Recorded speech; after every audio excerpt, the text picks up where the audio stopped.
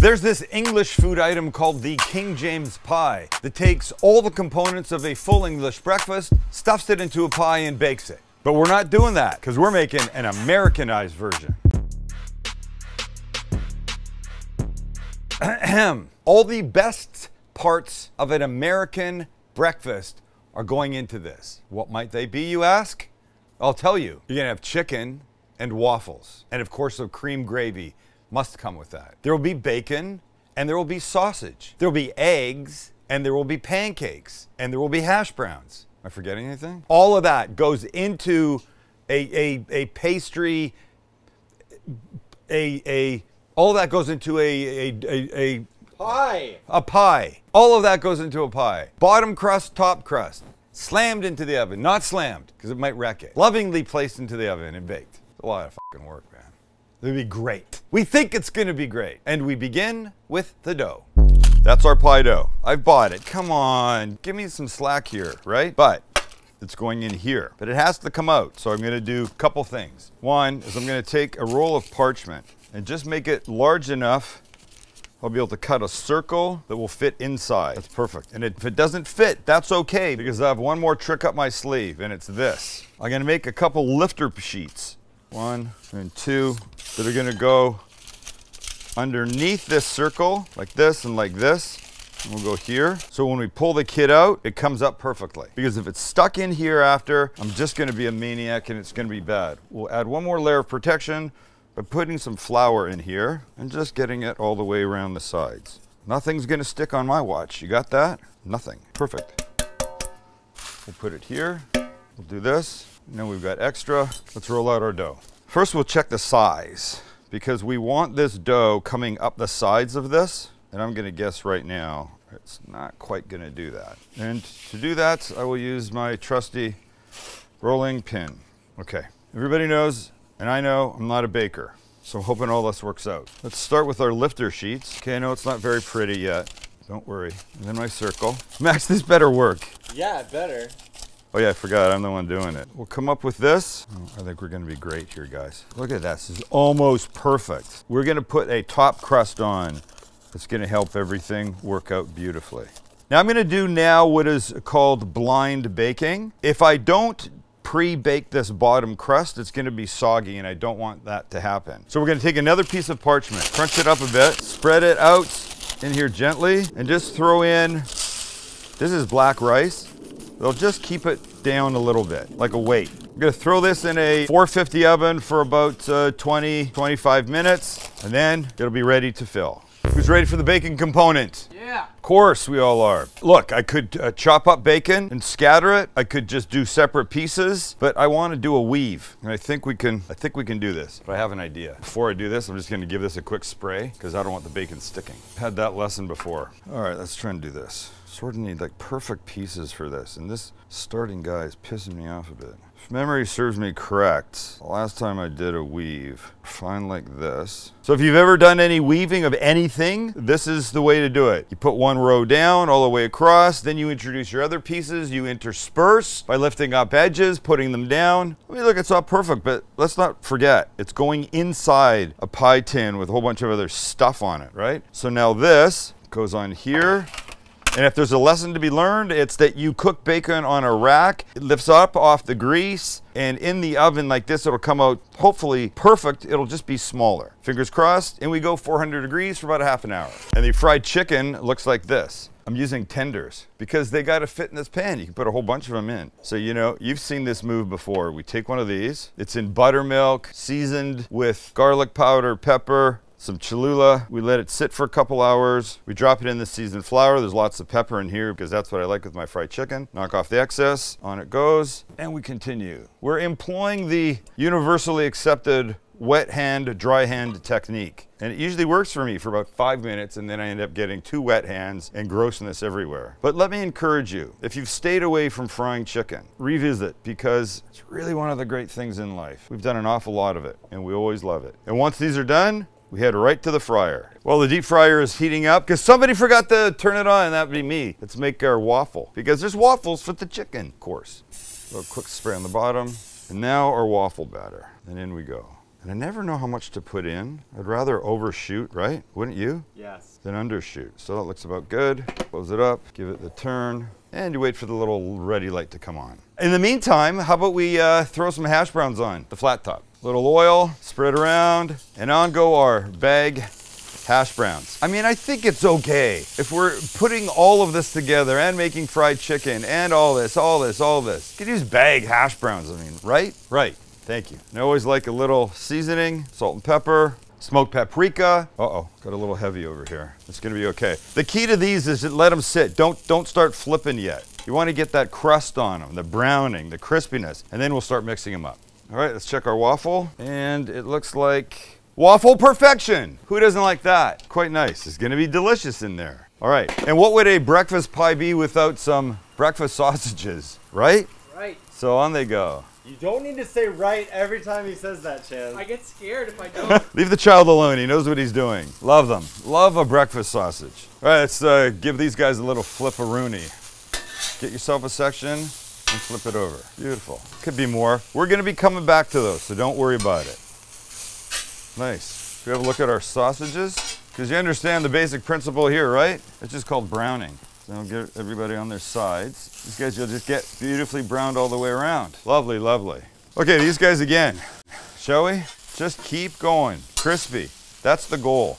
It's gonna be an unexpected crisp layer in the middle of this. Yes, of course there's chicken, but it's all good. Sausages coming along nicely. You know what would have been a good idea? Tongs? Tongs.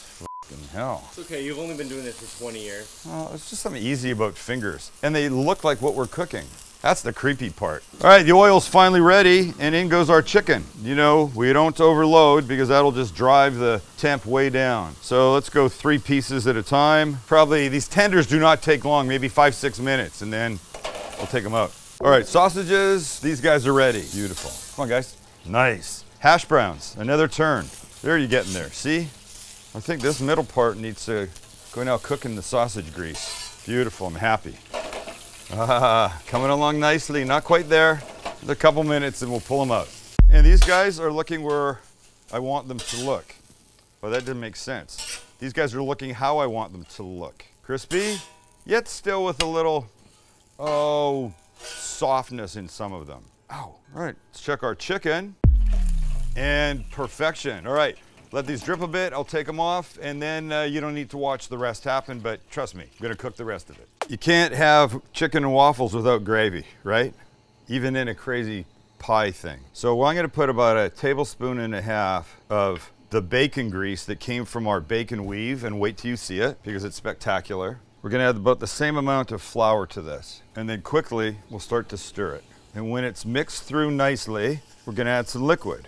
And that will be, this is milk and cream. I've got, ah, it's hot. Damn it. I gotta turn this down. Fucking hell, I'm dying here. This is a cup and a quarter of whole milk and a quarter cup of heavy cream. Whipping cream, you know. So at this point, I'll switch to, what's this thing, my whisk. And if you do it slowly, little by little, yeah, way better chance of not having this be lumpy. So do it little by little. And the flour, is going to help it thicken. The cream will help it thicken and make it a little bit richer. And over the next few minutes, by the time everything's in, you're going to be very happy. We can season it now, though, while we wait. It's going to get a pinch of salt and an ass load of pepper.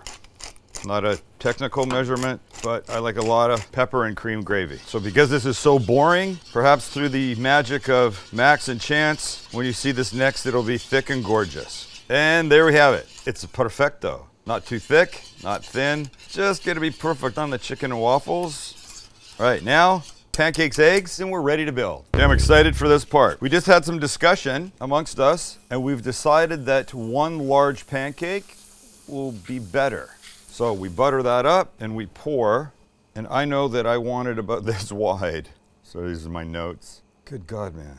That's basically gonna be perfect. Love it. Okay, now it's time for some eggs. So let's butter around the edge, party amount, and we'll crack some eggs. But my spatula is, come on, try and contain them a little better. Uh-oh, he broke. Can we accept him? Of course. Max? I don't know, you tell me. Nope. Sorry, Chance. I do have to season these guys a bit as we go. So let's try and get two more good eggs in here. Great, great. Season, season, season, season. Keep it together, fellas. Don't need anybody going rogue on me now. And we chose four eggs because we think that will give us uh, the right amount of coverage. Coverage is important, as will be that pancake if it ever gets done. Let's get the eggs off one at a time. Don't break them, Sam. All this hard work only to break eggs now would be very disappointing. And our last little friend, look at it, fantastic. All right, now the pancake. So the pancake I'm taking off like this, and now I want to rebutter and put him back like this. Oh, snap! That's a pancake! He's ready, and so are we. Come on, buddy. Now we build. All right, ready for the reveal? Yes. We'll do it in three, two, and one. What? What? Wait. Oh, hey, don't forget, there's a giant pancake that also has to be part of this. I can't wait. Okay, but let's get everything out of the way so we can build it. And remember our, our pie thing? Here it is. So we carefully take out this rice layer and we have that. It's just gonna be great. I'm so happy about this. Okay, and here's my thinking of how we build this thing. Allow me to show the, the camera. You start with the pastry, then you got the waffle, the chicken, then the gravy, and that makes the most sense. Then, because of the bumpy nature of the chicken, I'm putting the hash browns because you can use it like a leveling agent like sand. And then we got our pancake. What's that say upside down? Then you got your eggs. Then you got the bacon weave. And then you got the top pastry. All right. So, does anybody disagree with this? No. Better not, because I spent a stupid amount of time plotting out what goes where. Waffles. Now the chicken. Ah, But I've got this gap. See, that's the concern. I think I have to open these up. If I open this up and just push them to the edge, then at least I'll be better. Watch. We break this guy, right? Okay, that's good. One big piece on each. Now hash browns, pardon my hands. Next is easy. It's a, oh my gosh. Could not be any better, could it? Sausage. We only have two things left, the bacon and the eggs. Oh, the gravy. You never put the. gravy.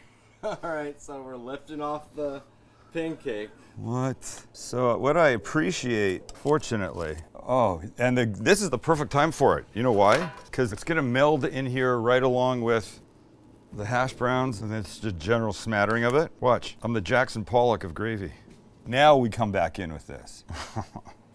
this piece of shit better come out or I'll be getting shears and cutting down the sides. Okay, eggs. Bacon weave, it's holding. Okay, we know some egg stuff's gonna break here. I think what we need is some scissors. All right, so now I need to trim a bit. Great. Might as well eat a piece while I'm here. All right, dough, the other piece. All right, so this is gonna be difficult because, well, partially because this is ripping. But what I want now is to just sort of tuck this right down the side. This parchment that I thought was gonna be my saving grace still might, but it is kind of getting in my way a little bit. For me, the best analogy that I can give you, since we're in the middle of watching For All Mankind, is what's about to happen now for me is what I imagine the astronauts felt as they were leaving the spaceship to step out onto the moon for the first time. The exact same thing. It's very close, isn't it? Now we take a little Sam the cooking guy, four inch paring knife. We give it a few of those, and we should weigh it. Okay, so before we do, let's weigh the kid. It's not 5.2 pounds. It's 5.2. It's 5.2 pounds. Okay, well then I got to give it another couple of these. I don't know why, but I suddenly just got very scared. Okay, my oven's at like 400, and it goes, and then I'll see in like a half an hour or something. And we're here. And I got to admit, looking about as gorgeous as I could have hoped. I think it needs to cool a little bit, but I would like it to cool outside of the pan. So that means taking it out. And if I, oh, you see that? Maybe too subtle. I'll do it again. Watch. It's gonna come out. I think I want two hands on this. So let's do this. You're gonna get two, and I'm Oh, gonna oh, get to grab two. these two? Sure. Okay. Get Just as high as that, and then right there. Okay. On your, on Gentle. mark. One, two, three, like a patient, and there we go. First try. Nicely done, boys. Thank you. Now, how do we get these papers out? Oh, like that, like that. I wondered how it was gonna connect to the bottom part, but it gets pretty rad. Okay, it gets 10 minutes and then we cut it, all right? Damn if I can wait. All right, it's time. And while it's cooling, I forgot that I had this underneath, which by the way, certainly helped because it was a dream getting it off. So we're gonna make, try and make one. I'm so scared.